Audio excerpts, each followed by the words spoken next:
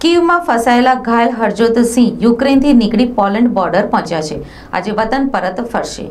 કેન્દ્રીય મંત્રી retired general VK સિંહે માહિતી આપી છે કે કીવમાં ગોળી વાગવાથી ઘાયલ ભારતીય નાગરિક હરજોત સિંહ સોમવારે તેમની સાથે વતન ફરવાના છે. દોડાદોડીમાં તેમનો પાસપોર્ટ પણ ખોવાઈ ગયો છે. સોમવારે હરજીતે બોર્ડિંગ પહેલાં એક વીડિયો શેર કર્યો હતો, એમાં તેણે ભારત પરત ફરવાની વાત કરી હતી. હરજોત સિંહ પોલેન્ડ પહોંચી ગયા છે. હરજોતની સાથે ભારતીય રાજદૂત પણ છે.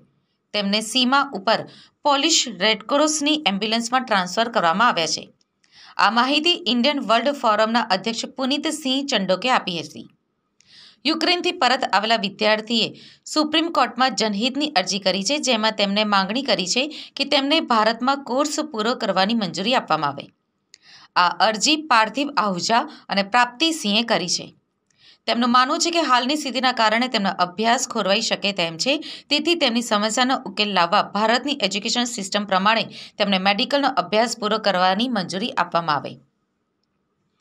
રશિયાની યુક્રેન બોર્ડરના સુમી શહેરમાં ફસેલા વિદ્યાર્થીઓને બસોમાં બેસાડીને પોલ્ટાવાના રસ્તે હંગરીના બુડાપોસ્ટ લઈ જવામાં આવ્યા છે. અહીંથી તેમને એરલિફ્ટ કરીને ભારત પહોંચાડવામાં આવશે. તેમના માટે પચાસ પચાસ સીટવાળી ચાર બસ મૂકવામાં આવી છે. આ માહિતી બુડા પોસ્ટમાં કેન્દ્રીય મંત્રી હરદીપસિંહ પુરીએ ન્યૂઝ એજન્સી એએનઆઈને આપી છે.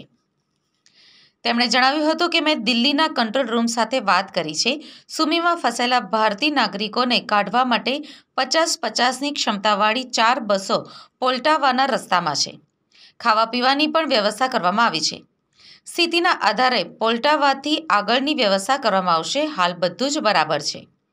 આ દરમિયાન આજે વહેલી સવારે એક ફ્લાઇટ યુક્રેનથી કાઢવામાં આવેલા એકસો સાહીઠ ભારતીય વિદ્યાર્થી સાથે હંગરીના બુડાપોસ્ટથી લઈને દિલ્હી પહોંચી છે.